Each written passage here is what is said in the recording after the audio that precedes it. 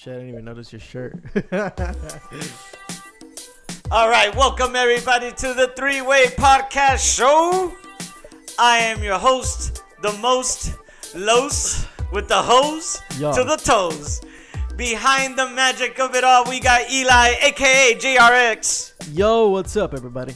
And today, uh, this is season two, episode six. Twenty six.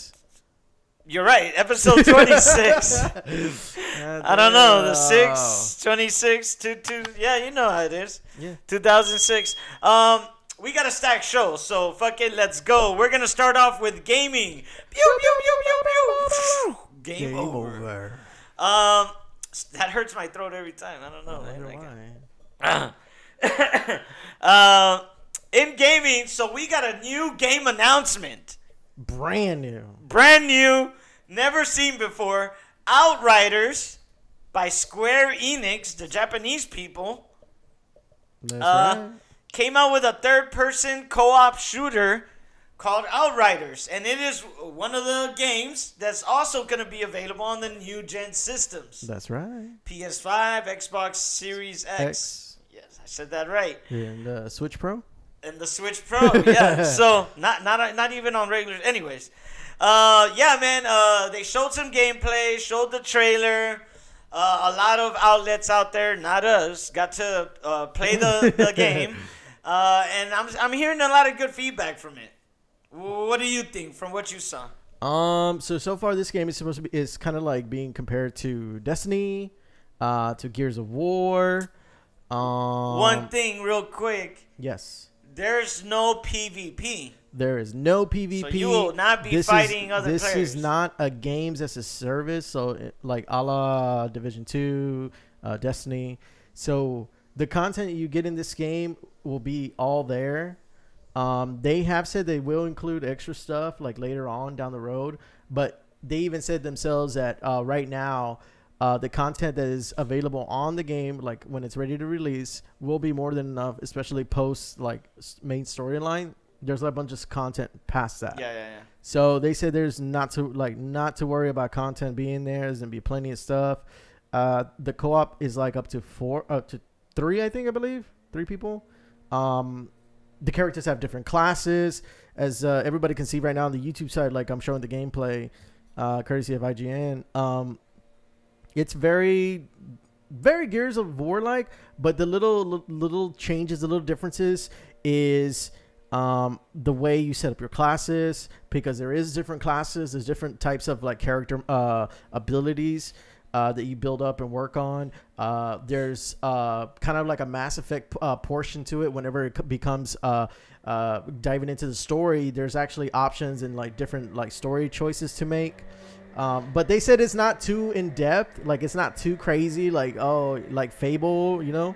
But they just, it, it, it, if anything, this is just something they they probably want to put out there right away. New systems coming out, new gen. Let's start a new franchise. Let's make it good, not great, but let's let's make something like that's gonna be like boom. Oh man, th- I got this when I got my my first PS five hundred dollar whatever that's Yeah, gonna I cost. mean- my first Xbox. it's always good to release a game when a new system comes out. You Mm-hmm. you don't have a really the new system doesn't really have a lot of games, so you're kind of like have no choice but to choose between certain Exactly. Stuff. Uh, kind of the same thing with me when I got first got the PS3. I got Oblivion. Had no idea Mm-hmm. What it was, but damn was I glad to buy that game. Um, but I don't know. Nothing about it to me seems very unique. Yeah. It seems No, no, no. It doesn't. It's a co-op Shooter. It doesn't look unique in a, in a in a sense that oh this is gonna be mind blowing, but for me I think I think it looks fun. I think it's something uh new. That that it does look. Uh, at least from what. I could see and the the people that I've talked spoken about it, I, do hear a lot that the gunplay feels really good. It Yeah. feels really fun. It feels really good. The movement of the game is really fun. It's really good. Yeah. So I feel like the gameplay is gonna be good. Yeah. I feel like the loot might be fun. Yeah. But is there anything about it that I'm like, wow, I've never seen anything like that before? No. Is there anything about it that I'm like, man, because it's gonna release on current gen consoles as well. Exactly. Yes. So really, all it's going to be doing on the next gen consoles is probably just better frame rates, better graphics. There's Yep. really nothing in the game that can be done by the prior systems. So when I when I think next gen systems and I want games to play on those systems, I'm thinking of I want stuff that damn this this for sure can't be done anywhere else Okay. right? And I, I don't get that from this, right? But that's not. I'm not saying this is gonna be a bad game. No, I- I don't think saying- I don't think we're we're gonna see that with a multi-platform type of game. It would probably be like the like console exclusive games Yeah, that do that. yeah, you're right. You're right. so like I'm okay with it. It looks it looks interesting. It, it looks like fun. Uh, some of the the trickster uh, class looks fun to play. I'm interested. I, I think I might get this. Eh, It, it looks interesting. It looks interesting. Uh, also, uh, Call of Duty Modern Warfare released its season two uh, content drop. Uh, and in the trailer for season two, it kind of teased uh, that there'll be a battle royale. Yeah. It's coming sometime into this this season. So they released uh they re-released an old map called Rust. That's back. Uh trash. Um they released some other maps that nobody cares about. Uh honestly, they added like I think I believe they added like two guns. They added a, a old character named Ghost. Uh everybody's like running around with uh with either Ghost or like the character that, that looks like him but has like a cape on him. I don't know. But anyways, I bought the. you I bought the battle pass? I did. Oh lord. Anyways, um, I don't care. Give me the battle royale. That's what I want. No doubt. Give me the battle royale. I don't care about your new maps. I don't care about your new weapons. Give me the battle royale. But the battle royale hasn't been confirmed. Uh, with the new update, which was a thick boy, it was like 68, 70 oh gigabytes. god, huge, Yeah, huge, On, on PC. I don't. I'm not sure on console, but huge. but they they have an option in the main menu that says classified. It's right dead in the center. Right in the middle. um, not yet know what it is, but it was uh, like uh, Lo said, it was kind of teased because they showed like maps in big areas and they showed like um um Different the, battles the going on. different battles and the and the character alluded to why are they shooting their own people kind of thing. Yeah, yeah, yeah. And and then like towards the end of that trailer, that portion of the trailer, you see people jumping out of a plane. So pff, come on. So it's rumored to be coming out mid mid season uh two of Call of Duty's uh, Modern Warfare right now.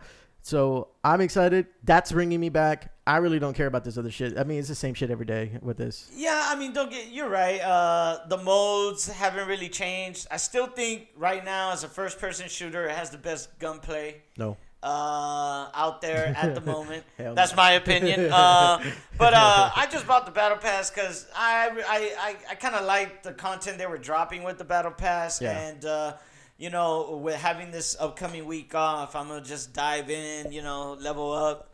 And uh, yeah, you're right. The big thing is waiting for that battle royale. I want to see what this team can do with that.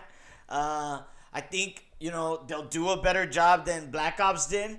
Um, so I'm excited. Yeah, can't wait. Oh yeah. I I'm want excited more. for sure. Uh, Rainbow Six Siege has its invitational going at the moment. If you don't know much about Rainbow Six Siege, look it up. It's a 5v5 uh, online only game. It's pretty good. Uh, and they uh, introduced their new season.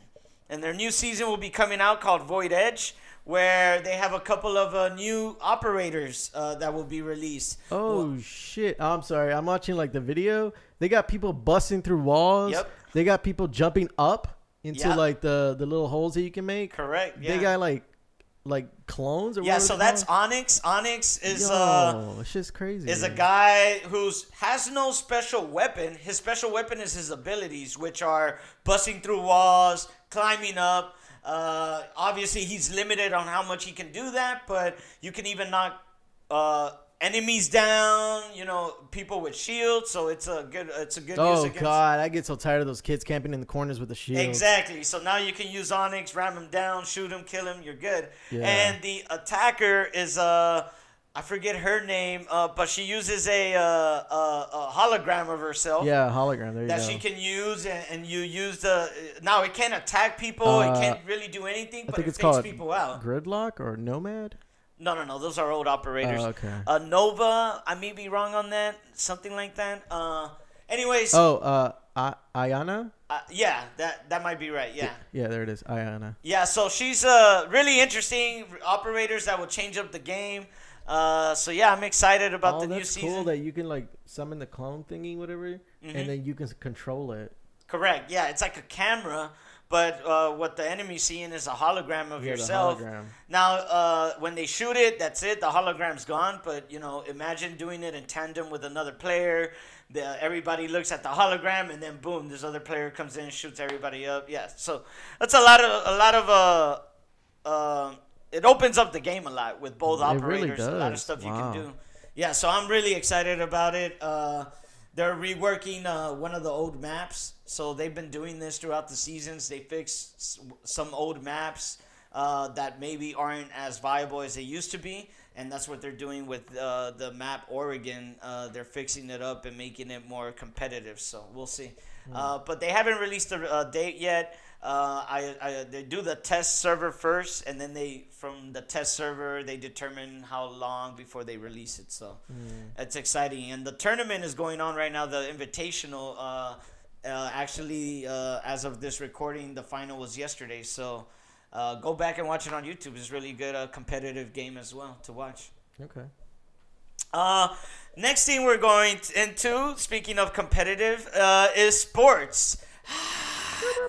Touchdown! It's a home run! Goal! Sports, Sports. space sports. Um, uh, Tom Brady has apparently Well, is well, be is well. shopping around, hitting the open market. And Many teams supposedly are interested, including the Patriots, right? Yeah. Um, so a couple of teams that I saw were uh, the a lot of rumors out there that the Raiders Raiders are interested in signing Tom Brady to a two-year deal. There's Well, another team as well. Uh, I forgot. I forget who that third team it is. But let, let's just let's just let's just understand what's really going on here. Uh, Brady wants some more money. Uh, Brady's hitting the open market uh, to see what people are offering for him, but at the same time, it's more like, come on, Pats, match the offer kind of thing. You know, he doesn't want to leave, bro. He's been there for Yeah, years. he doesn't want to leave. He shouldn't leave. That's his legacy is big time tied to the Patriots. Now, I'm not saying his legacy is gone if he leaves the Patriots, but you know how it is, man. People always love those guys that stick with that one team. yeah. You know, if a guy can ride it out his whole career with one team, it's a little another notch on the belt, right? Yeah. Instead of these guys that end up leaving for a year or two, whatever, and then end up retiring. Tom Brady no, feels he has years left in him, and he wants to do them with the Patriots. Yeah. Um, I mean, look at another, one example is Eli. Eli spent his whole career with the Giants. Now he didn't have a star-studded career. He, I mean, won two Super Bowls. I think he's a uh, Hall of Famer, but a, a lot of people had knocked him on his on his stats, right? On his, on the A stats lot of interceptions. yeah, true. But he spent them all in the uniform of the of the Giants, and Yeah. I think that that organization, those fans right there, respect him a lot for that. Um, even I mean, even though they've trashed him a shitload of times throughout his career, I mean, two Super Bowls. But uh, what do you what else do you want? But anyways, um, yeah, man, I feel like the Pat Patriots fans will still want him there. I think Tom still wants to stay there. He wants to finish his out, out career. It's a smart move, I think, to to shop yourself around. I think it would be crazy. I I think it would be great TV, in my in my opinion, for Tom Brady to go into the Las Vegas Raiders. I I keep because I, keep thinking of them as Oakland. Oakland. These guys are the Yeah. Las Vegas They're Raiders. Las Vegas. Las Vegas Raiders, new stadium. You got yourself a MVP quarterback in there, a solid squad that has that has weapons, that has a solid defense. I don't know, man. I don't know. I- either way this goes, I, I think if he goes back to the Pats, I think he, yeah he continues to go. I doubt he wins the Super Bowl. I think if he goes to Las Vegas, Super Bowl. All right. All right, uh, and next in uh, sports, the Astros had a press The conference cheating Astros Had a press conference recently. uh, where the owner came out and uh, just uh, issued an, uh, a oh, statement. Not just, not just the owner. No, no, true. Uh, the owner came out, uh, uh, the head, the the coach, uh, the manager, and uh, Alex Bregman and uh, Jose Jose, Altuve. Altuve. came out and gave a little quick, uh, you know, just uh, they had to say what they say. They meant a few words, gave their apologies, and uh, that, They that was gave their apologies. hmm Okay. Yeah, they Let's, said, uh, let's said break we're it sorry. down for the non rah rah rah fanboys here.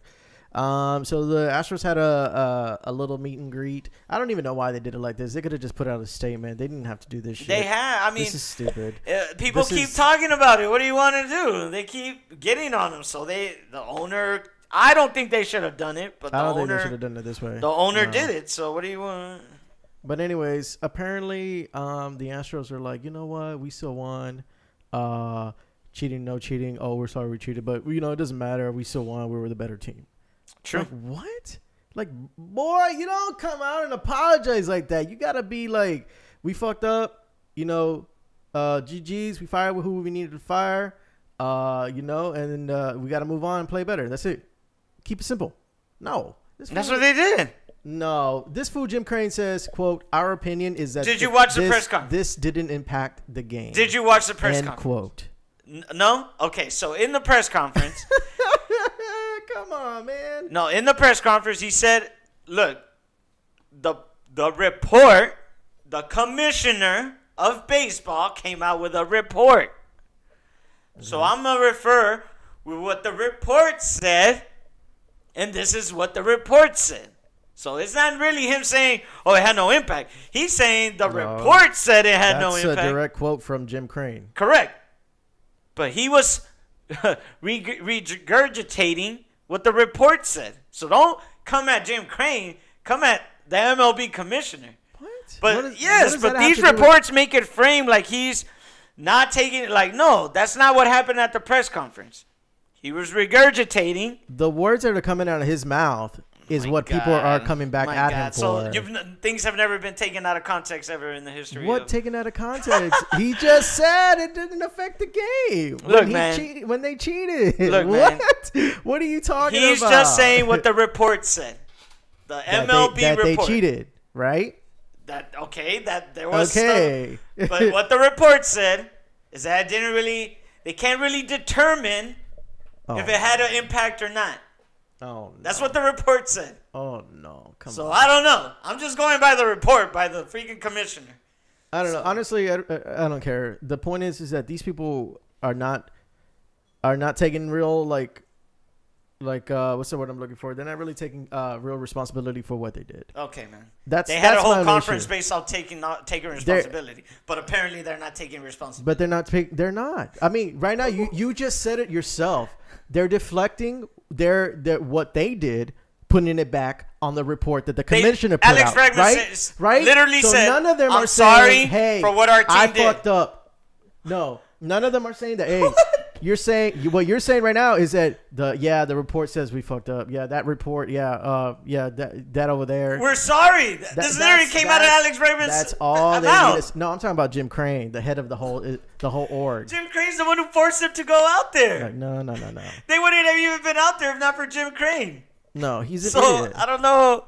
All right, man. Well, What do you- the, the the drama continues. Uh, I, I I don't think they I'm should done even with apologize. these fucking Astros, bro. Like Hey, I'm done with them. That's fine. They're- we I'm don't need done, you. I'm done. I'm, I'm done with We the didn't fan need base. y'all before, we don't need y'all now. Who goes like deflect, deflect, deflect instead of being like, yeah, they fucked up. You know, shit He happens. literally Let's fired his head coach, They who had up. nothing to do with it. No, what about this team? And he fired his. that team? It's true. Like, okay, but The your Astros ass are the scapegoat caught. for the league. Your ass got caught. You need to take responsibility. and they did. He Okay. fired his GM. That's good. The best GM this team's That's ever had, great. and the best head coach he's ever had. Perfect. And he fired them. That's What good. else do you want? for them if they're gonna they go out My to do an apology uh, uh uh thing right here but then don't really apologize it's weak Okay, sure, man. it's weak sure. If All if you're gonna do it then do it right Agree or disagree? trash Uh. Trash NBA All Star voting has uh, taken place, and we got a, some couple of snubs that have been have been left out of All Star of the All Star teams.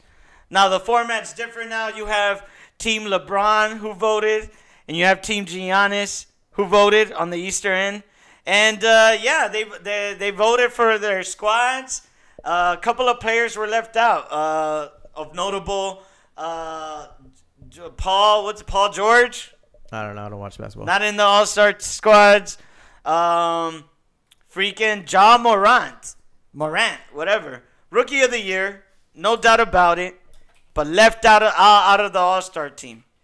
Uh, some people are saying, hey, I mean, no rookie's done it for a long time, but still, the guy has proven that he's all star caliber. But it looks like uh, the whole league, all the players in, in, you know, in conjunction agree that rookies, you got to be an extraordinary rookie to even make it in. I don't know. Uh, but yeah, Team LeBron, the starters are LeBron, of course, Anthony Davis, Kawhi Leonard, Luka Doncic, and James Harden. Oh wait, they don't do East and West no more. Uh, no, it's kind of like a draft thing. So the pl- the the captains draft the players. Correct. So that's why the other ones didn't make it.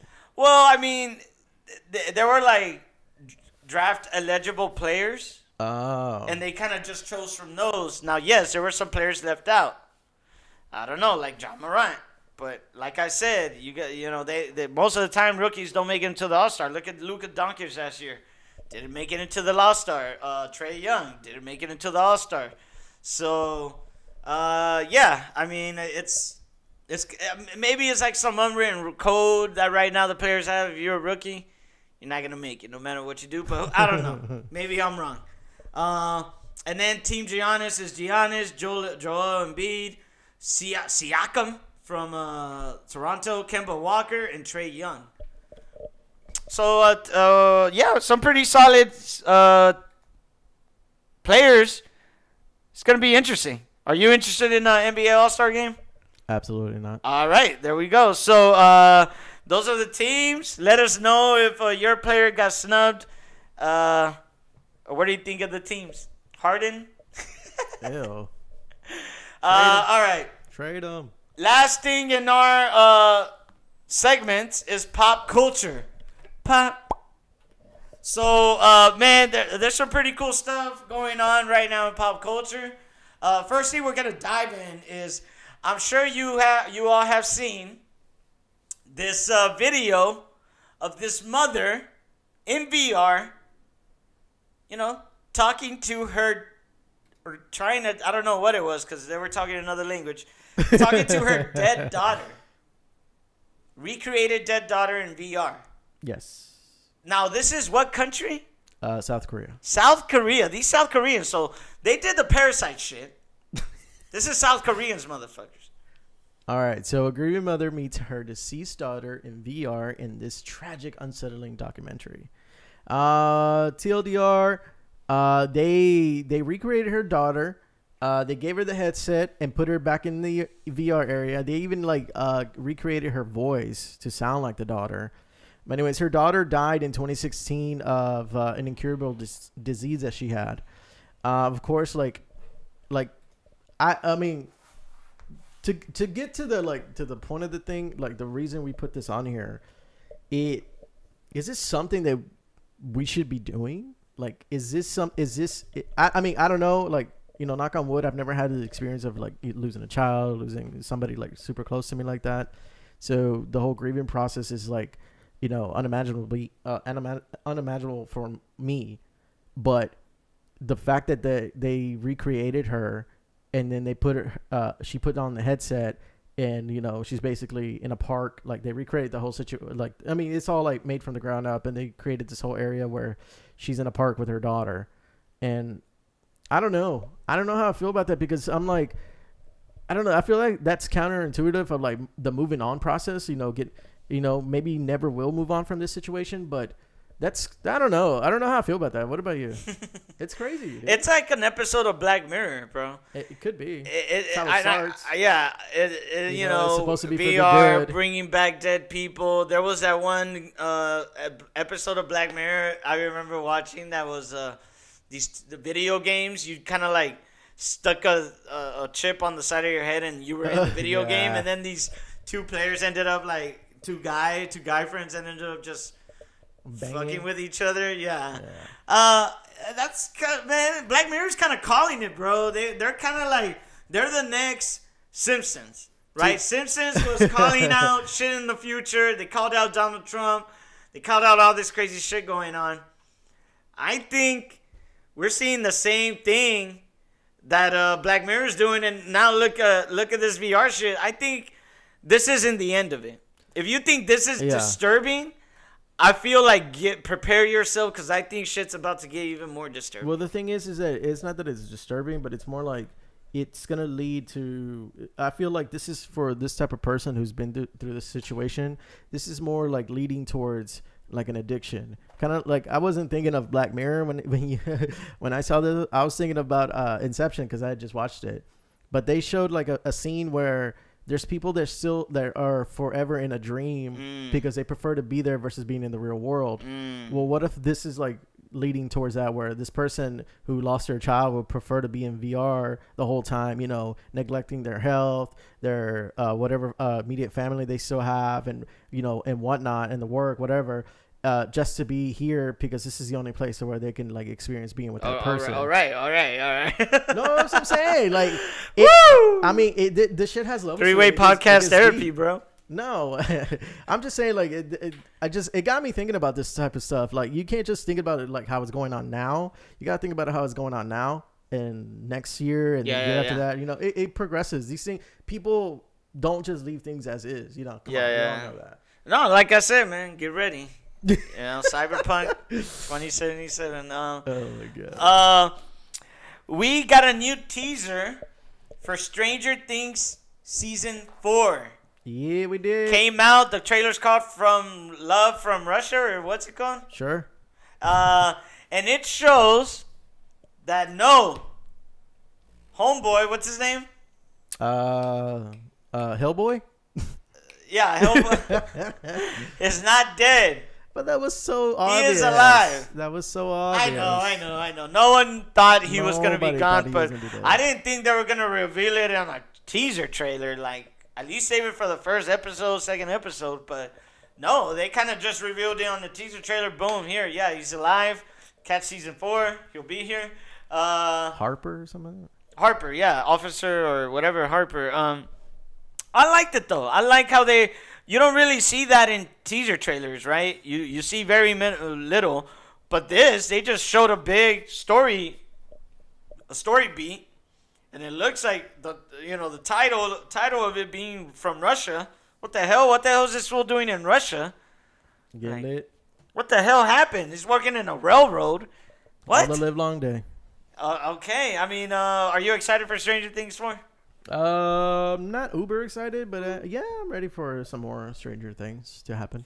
it is kind of getting like more and more like beyond don't get me wrong stranger things 1 is like beyond like uh reality but it's getting more and more like it just keeps getting it's getting more wilder and i don't know well i don't know about that i kind of liked it being grounded in the first season right that feeling that it's just a small town little group of uh, friends now it's like russia and uh, uh, it's, uh, you know different like come on it's Yeah, getting a little you. bit too out there Okay. even though it's about you know the upside down world and monsters coming in through wormholes but whatever yeah, shit, crazy. uh our last bit of news we got our f- first look Very first look. at robert pattinson as batman we got to look at the bat suit Woo! the director came out with a little uh, little video A little tease. little tease on Apple twitter tease. and i gotta say man it looks badass Oh, I like it too. i like it I like it a lot. I kind of like the. It was a test screening of it, and he just Mm-hmm. released a video of it. So they were trying to. They're, I, I think they're trying to develop a mood for the film right now. That's what they're and currently trying to develop the mood of the film. Right. And from what I saw from this teaser, it's kind of grimy, Yep. dark. I, I like it, man. Oh, I like it a lot. I like it rough, Oh, right? yeah. Nice chiseled jaw. Yummy. yummy that he just gives you. I, I liked it, man. now, we didn't see the freaking uh the ears, right? They kind of cuts off there, so I don't. I still haven't. We still need. I still want to see the whole suit before I'm all in. But uh, apparently, the freaking emblem on his chest is made of the the weapon of that killed his parents. Yeah, it's the uh, it's the gun that was used to murder his parents. What the? They've been fuck? cut in half, and they he, he uses them as his uh, the bat symbol. What the fuck? That's what I'm saying. That's what I'm talking about. Oh Saving DC single handedly. oh my gosh! I want more of it. I want to see a trailer for this movie, man. I'm done with the teases. Don't tease me. Bunch of teas. Show me the trailer. You you, you hype for this? Oh yeah, I liked it. I thought it was Robert pretty Pattinson, cool. man. I knew it. Magic, I didn't have it down in Robert, but you know I need to see the whole thing too. vampires, and bats, all in one. All in one. Twilight and Batman crossover. Sign me up. Got all the three books at home. Is there four? There's Oh three, right? God. All three at home, baby. Hey man, I found them. I was like, Oh, you found them? Yeah, Barnes some guy Nobles? gave his books away in a whole box, and we For opened some it. money? It's the whole Twilight series on there. what the hell was this guy doing? And some Russian books, Oh, literally Russian language books oh, that we now use as decoration. wow! Yeah. You should get them checked out. Maybe be be worth something. Maybe this guy's a fucking communist. I don't know. Fucking Twilight in Russia. And he had a book about Putin as well. Mm. Yeah. Mm. Fucking, uh, I don't know, man. Shit's very. Gotta be crazy. It's fucking, maybe the Stranger Things 4 shit really ain't so far off, right? Maybe they're right here in our own homeland, Own backyards. own backyards. Uh, all right, guys. uh, we're gonna end the show with a couple of last segments. Uh, really, really quickly, what have you been playing, jerks? yeah, I've been playing Apex and I broke my, Oh mouth.